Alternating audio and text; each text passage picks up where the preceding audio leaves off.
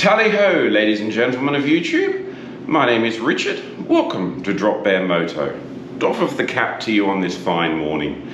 Today, Distinguished Gentleman's Ride. Um, for those that don't know, this was a ride that actually started in Australia well, quite a few years back now. It's been running for some time. It runs jointly with Movember, uh, raises money for prostate cancer awareness, um, or, well, and research and, and all the things that go along with that for men, and also for uh, men's mental health issues. So, great cause. Um, what I've decided to do today is join the Daytona crew. So the actual ride's probably about 26 miles. I think we're doing the loop in Daytona, which is really scenic. Um, and, and, it'll be probably just under an hour to do that loop. Uh, we'll meet at one of the dealerships beforehand and we'll come back to one of the breweries in the area. So it should be a good day. Because I like to ride an extra challenge, I set myself, um, I'm probably 100 and, no, 110 miles plus to get to the dealership and back um, and going to do it all on my trusty Triumph. So this will be the furthest I've ridden the Triumph in one day. Um, have done a couple of hundred mile rides or plus, but it's certainly the furthest in one day. Um, and to make matters worse, it's raining at the moment uh, very lightly, so not sure I'll ride up with my jacket. I might wuss out of that one, um, try and keep it dry. Otherwise, I'll be absolutely drenched after. It's going to take me about two hours to go to back roads because they're more scenic. Um, so probably two hours up, two hours back on the little Triumph. Um, and I removed the fenders or the back fender from this bike because it looks cooler. Um, I never intended to ride it in the rain or this far. It's sort of a round town bike. Go and drop another video with a bit more details about this bike. But um, yeah, so it's going to be an interesting day, a little bit of a challenge to shake things up and make it fun. Um, which I think we got over 50 riders in today's ride, so good show out. We'll, we'll report more from up there when we get there. Um, and I've managed to raise about $464 so far. So I'll try and drop the GoFundMe or the sorry the the link for donations in this video. If you are watching, didn't get a chance to donate yet, um, we'll keep that open, obviously. Um, but yeah, it's a, it's a great cause. It's going to be a fun day. Wish it wasn't raining, but you get that when you're out on bikes. You will get wet one day. Um, so I'll get some footage hopefully going up there and get some footage on the ride. Come along with me.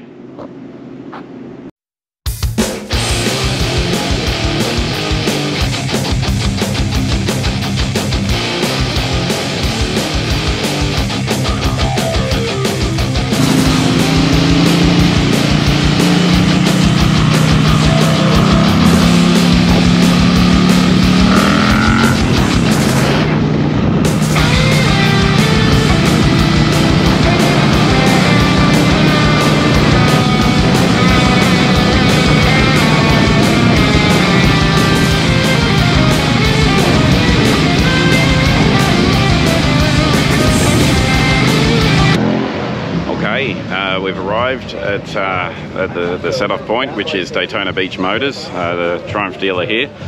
Um, good ride up, didn't get a lot of footage. We had a, a little bit of rain, but nothing too bad. It managed to dry out again on the way through. Um, so that was good. Um, you, you got, it's got some high speeds though, so uh, had to just uh, readdress myself as we got up, but uh, lost nothing, so that was all good. But uh, yeah, we, there's a couple of 65 limits on the way up the uh, US one, even though it's a uh, the back road, so to speak. Um, but no, it was good. Good run up. Um, couple of drops, nothing too spectacular. So bike did well. Back's a little sore, bum's a little sore, but you get that on a smaller bike. So have a look around here.